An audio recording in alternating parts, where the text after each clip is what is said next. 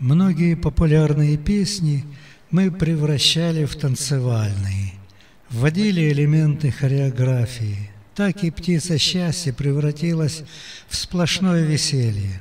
Это хорошо слышно, когда в песню врывается ритмическая часть, и наши певицы танцуют и поют. Thank you.